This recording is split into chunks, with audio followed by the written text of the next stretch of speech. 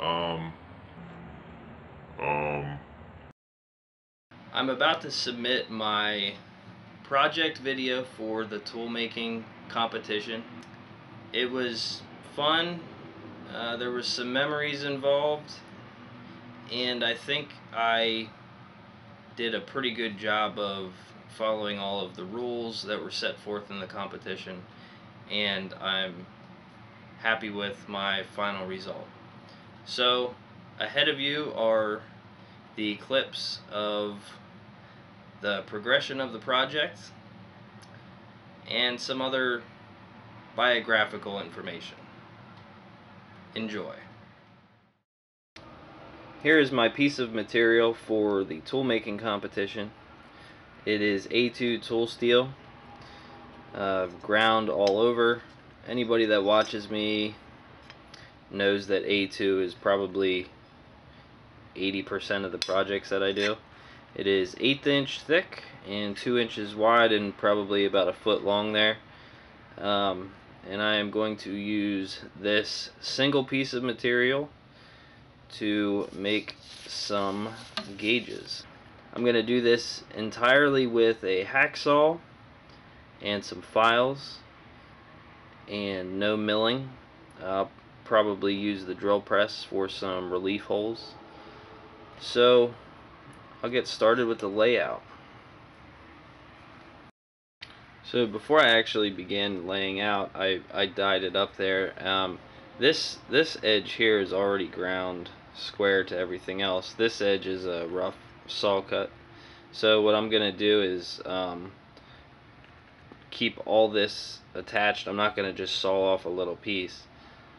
And I'm going to just file this edge square to this edge and then I'll be able to use this surface and this surface as a datum surface to do the rest of the layout and it'll save me some time uh, filing and squaring everything up if I can do it as one solid piece.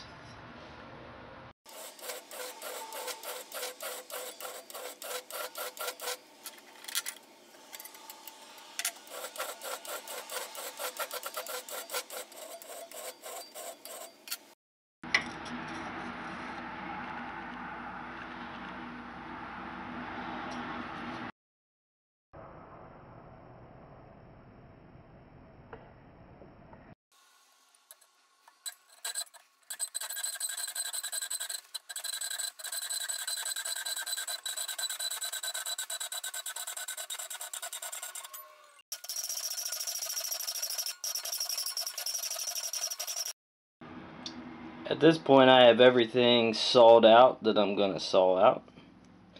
It went okay.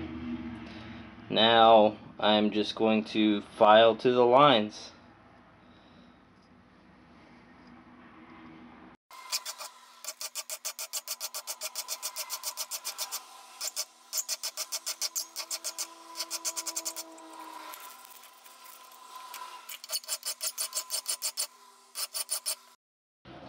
Strategy that I'm using here to get my surfaces filed square is I have this uh, it's sort of like a sacrificial one two three block. So this is hardened steel. This is not hardened steel. Um, and I'm going to use uh, gauge blocks angle blocks different things like that to to line up with the surface plate um, so it just so happens that the block is two inches, okay, and I want this to finish at three quarters of an inch.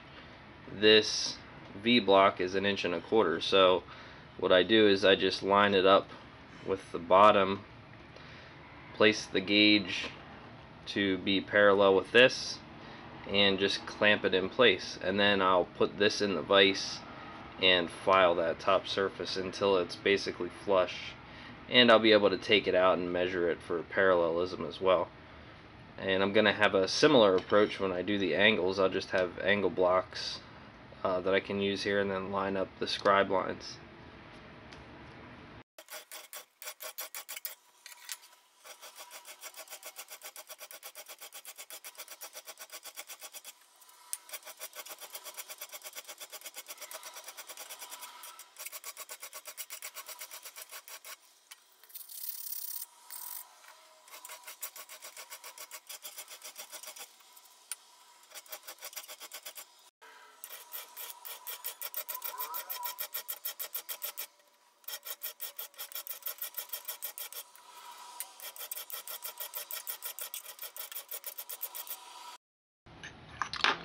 I'm ready to do the 30 degree angles on the end of the fishtail gauge here. So the first thing that I'm going to do is take this 30 degree parallel here and just clamp it to the block. So now the block is on there, it's flush to the bottom. And the real trick to this is still being able to catch these lines that I scribed because that essentially is what I'm going to line up. So I'll use my good eye, find where that line starts to disappear on this, which there isn't very much. Not very much at all. And that is the place where I will apply the second clamp. So the second clamp is down towards the bottom there. So now I can safely remove the clamp that's holding on the parallel since I don't need that reference point anymore. And I can apply it to the workpiece.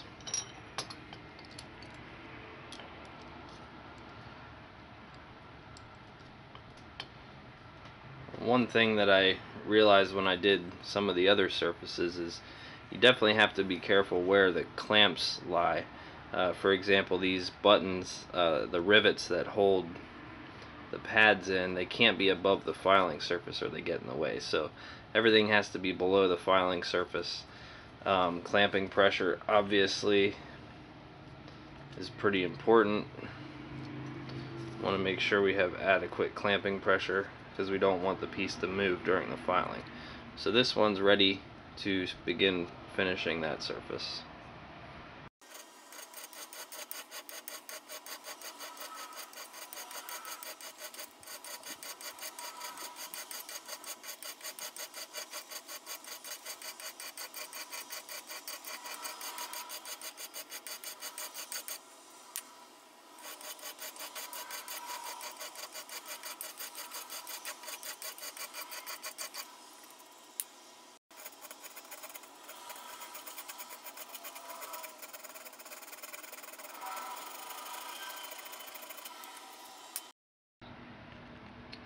Here's the completed fishtail gauge. Pretty happy with it. Finish looks nice. All the edges came out real good. Um, I decided to just go with one V groove. Um, they're not very accurate because they're made with the file. Can't really get in too deep uh, and get it accurate anyway. So, um, but everything else seemed to come out real nice. So now it's time to start on the angle gauge.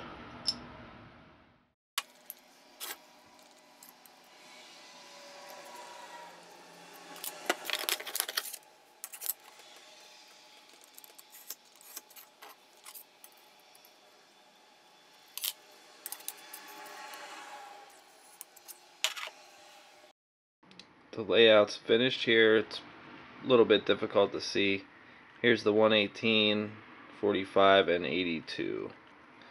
Um, so I'm going to start sawing this out and back to the filing.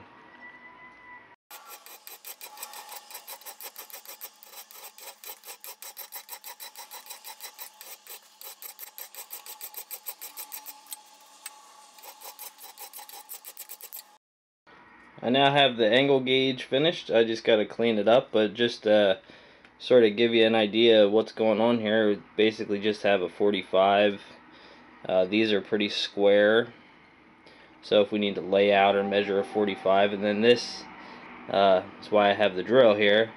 This would be to measure a drill tip. So you you can line up the body on the flat and then just run the angle up to make sure the angle is correct.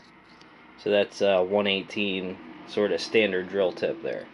So I'm going to get these cleaned up and see what they look like together. Here's the big reveal. We have our angle gauge and our fishtail gauge. A2 tool steel made with hacksaw and file. no electricity required. Thanks for watching, and I hope this was enjoyable, and I hope that my submission is considered for a finalist position. Thank you.